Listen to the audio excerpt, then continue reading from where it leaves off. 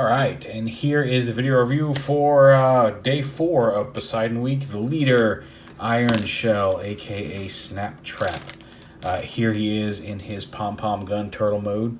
That's his official name. That's the it says it right there in the manual in uh, PIEs. But uh, yeah, he comes with his manual. There's his accessories. Um, I guess that's why you get the extra set. Anyway. um, so yeah, we're not going to go through all that because it really only has robot mode, alt mode, and torso mode. And I am really looking forward to showing off the transformation of torso mode in the combined video because uh, it's awesome. Uh, he by himself is actually pretty cool, and I will de demonstrably prove that uh, by the end of this video. So yeah, he, he comes with that. He comes with his bio card, which has his art and his stats. Put those over there. You also get two kind of weird Tonfa-esque sword type weapons that he can hold on to and use to attack that also become part of the main sword. The two couple of long pieces that can't come to hook together as one long piece, but apparently it's so you can, it's actually four separate pieces on like a Lego piece here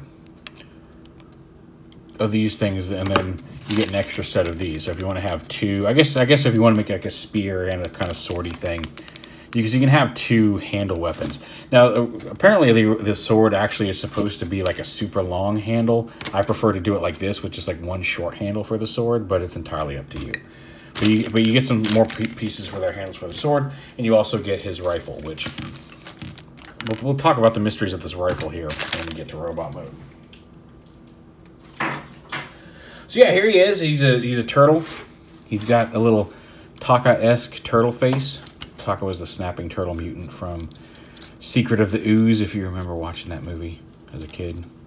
But it is a really cool sharp turtle face. He's got some stubby little legs. All of his stuff, his robot mode feet back here. His spiky shell, and you can have it with his tail. You can have the, these little fin pieces pull it back. You can fold them forward on the shelf if you want them to have more of a round shell. It's entirely up to you.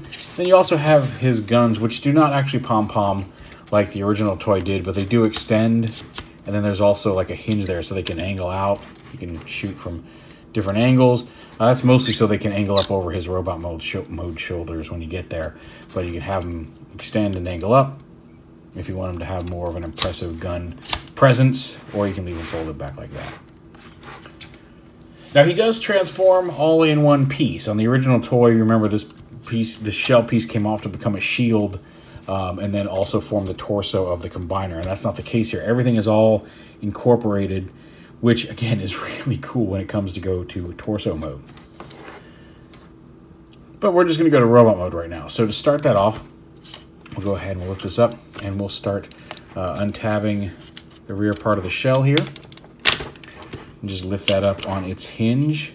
Uh, it, it, tabs in back here on the leg. These pegs go in, and then there's these little tabs right here go into slots on the shell. So lift that up. Go ahead and fold his tail in. If you can get it in there. Take these pieces as robot mode feet and fold them out and around. And once you've got that done, you can uh, bring the legs out to the side.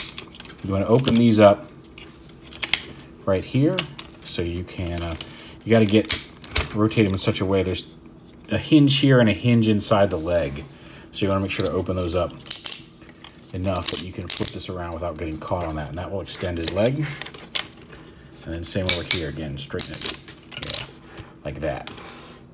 Let's see if I can get a little bit more real estate on the figure here while we're shooting. So yeah, that's done. Go ahead and clip these, rotate them around, all the way down and around, down like that, and down and around like that. Rotate his lower waist, bring this piece down. This is going to be like his crotch plate for combiner mode. But rotate, leave the shell on the back. Rotate this piece all around, fold this down and under the shell. And you can see some pieces that are going to flip out for torso mode, which again is really cool. Actually, you can rotate the, if you want to get a little bit more clearance for his robot mode head. You can you can rotate this to the side out of the way as well, because the robot mode head and the combiner mode head are up inside this part. And that, this lets you get this way out of the way. to Fold this head down, fold this head down, and then pop this panel open here to allow his robot mode head to come out. Not a whole lot of clearance, so when you get this open wide, it helps. Let's bring that up, flip that up. There's his robot mode head. And when you bring this back up, bring this shell back around. Uh, these large pink tabs go into the back, and it helps if you actually go ahead and pull the arms, uh, untab the arms from the side of the torso, and bring this piece down. It gives it a little bit more clearance here for the backpack. Again, untab the arm from the side of the torso, and then bring that pink bit all the way forward. Because these two pink tabs go up into his back at this point, and then uh, this folds down. And there's a, some tabs here on the green shot. You can see there's a tab up here, as well as one down here. And for torso mode, you want them down here. For robot mode, you want them to tab in up, higher up on the, uh, on the shell, like that. So it sits up here. So th this is actually raised up a little bit behind his robot mode head. That's how you know you've done it right. Because in this mode, you need to bring the shell back around and then collapse the torso down like this. Come on. There we go. So collapse that down. And once you've done that, if you've got this in the right position, the, the uh, this big shell can come up over it and it will also tab in uh, yeah, there we go. There's some, there's some slots in here. It's hard to see from this angle in the back shell that tab up over these green tabs on the back here. And it will line up in a way that this tab up here will tab in on the back of this shell right here.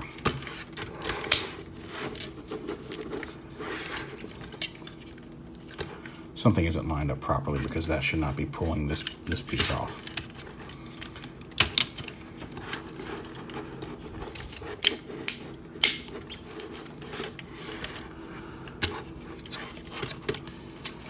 It could just be this hinge right here.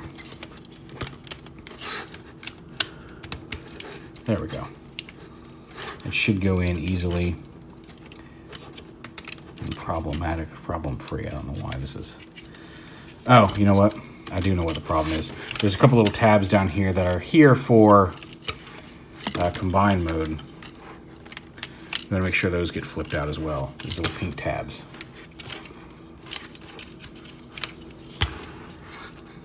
That, that those were uh, blocking this hinge from coming up all the way. And once you get that done, then it all snaps into place very securely and doesn't pull away from the back. All right, so we're gonna stand him up here and we'll deal with his legs first because they're being problematic right now. So the feet, bring them down, lift them up and rotate them and then just bring that hinge in. You can point the toes forward if you like them like that. You can leave them wide like that. It's up to you. I, I go, I go somewhere in the middle usually. Has to bring his feet down and around. Snap these panels back into place. And then his turtle legs kind of come back around behind here and kind of fold up to form extra heel pieces because his legs, these sit a little too far forward to really support him. Folding these turtle legs down as extra heels helps. I just fold the actual feet kind of up like that. And one of the things that is pictured but isn't actually shown how to do in the instructions. I figured this out, at least I didn't notice them in the instructions. These clear green pieces actually come out and up and tab back in. You can see the two sides uh, to kind of cover up the combiner ports there in his knees as well as give him some kind of cool knee, knee, kneecap detailing there. Up to his upper half, we're just about done here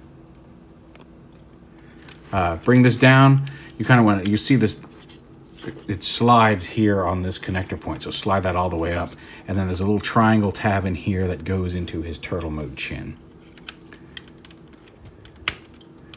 So make sure that sits all the way in. You should just see the top, his lower jaw should pretty much be inside of his torso at this point. And then once that's done, rotate the arms around at the bicep swivel.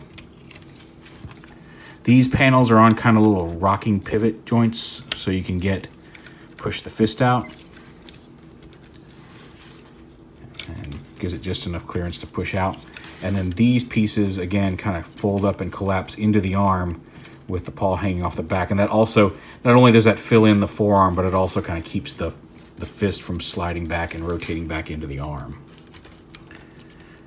Just like that, just push it all the way up and in there. And there he is in robot mode.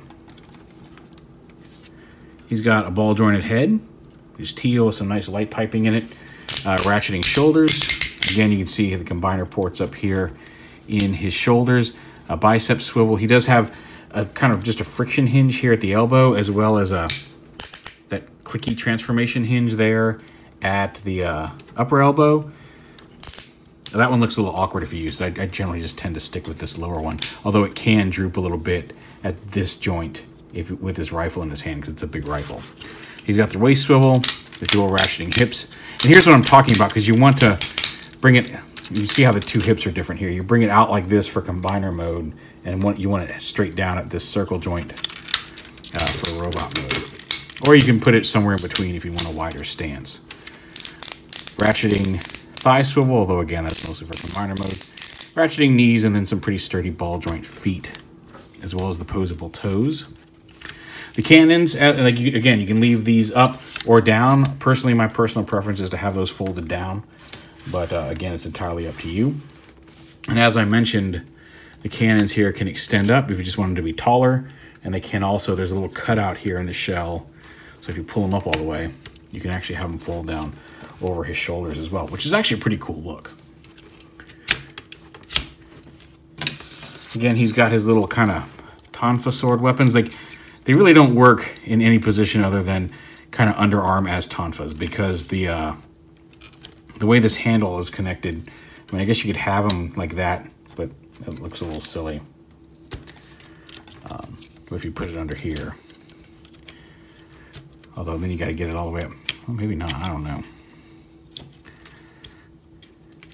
You got to get it up higher enough to actually be held by the hand. Um, so yeah, you can kind of have a hold them like that. Up to you.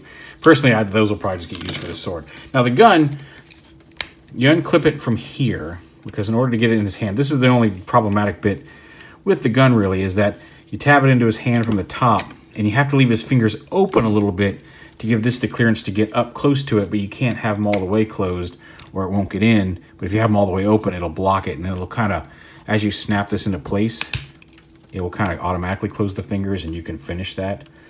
But uh, that's how he holds his rifle. And his rifle is the same teal and pink. It would have been nice if it were black like his guns. Uh, just a slightly different color, especially since it doesn't really connect to his alt mode. Uh, there is a picture apparently somewhere of it sitting on his shell, and uh, I was talking to Evangelist, and he believes that it was probably in fact taped there. But uh, I haven't seen this picture, so I can't confirm, but I have not found a place to store it. Also, like, this little tab, like, I worry about the way you have to snap it past there to lock into place. I worry about that eventually snapping. I mean, granted, if it if it did, it really wouldn't hurt anything, I don't think, because once you have that closed up, he's going to hold it in his hand just fine, but just a thing.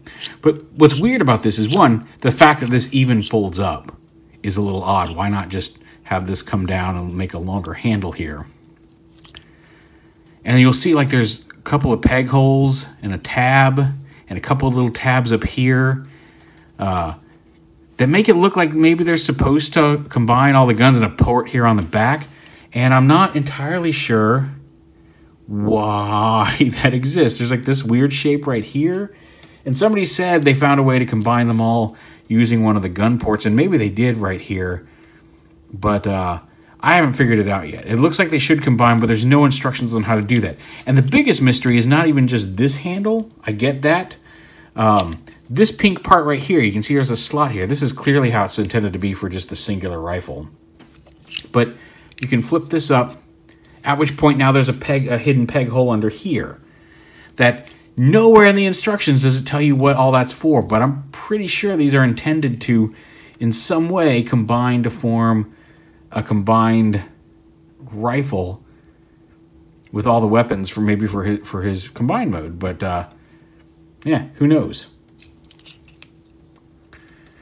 Now I mentioned that uh, by the end of this video I would try to demonstrably illustrate how cool this guy is. One, if this ain't doing it for you, fair enough. I get it. Um, I've always kind of dug Snaptrap. He was one of the few.